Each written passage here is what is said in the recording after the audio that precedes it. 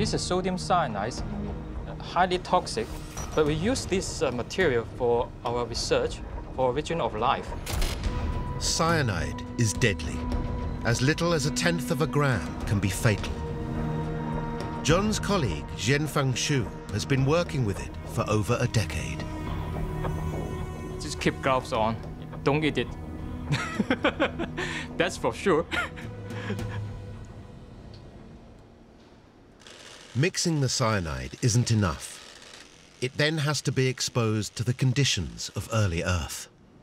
I'm going to put this in the solar simulator. Uh, this machine just simulates the early Earth conditions. Levels of UV light were much higher back then. UV light is the, is the energy to drive the reaction. And it's, it's free energy from the sun. And we're going to use it. Inside the machine, the cyanide combines and recombines, creating the building blocks of life.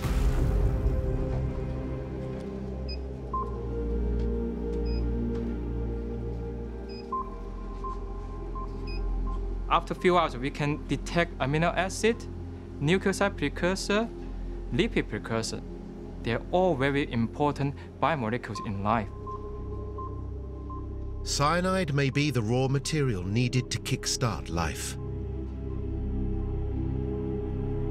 So finding an abundant supply is vital for John and Jianfeng's theory. And one type of location is more promising than any other.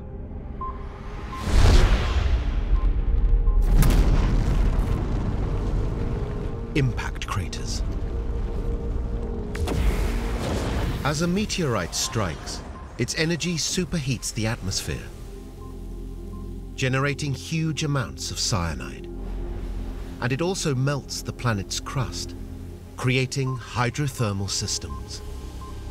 The meteor impact is really important for life to start.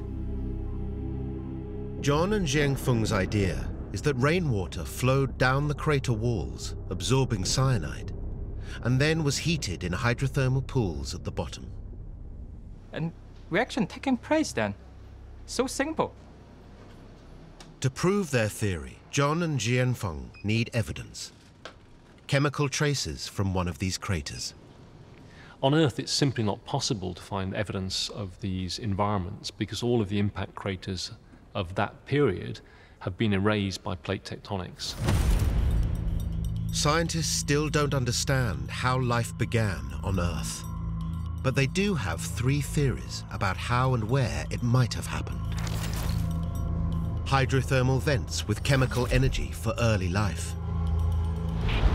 Volcanic pools could have assembled cells.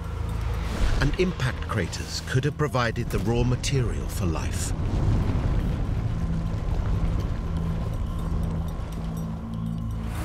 But here on Earth, essential clues to solve the mystery have long been erased. To find them, scientists need to return to Mars.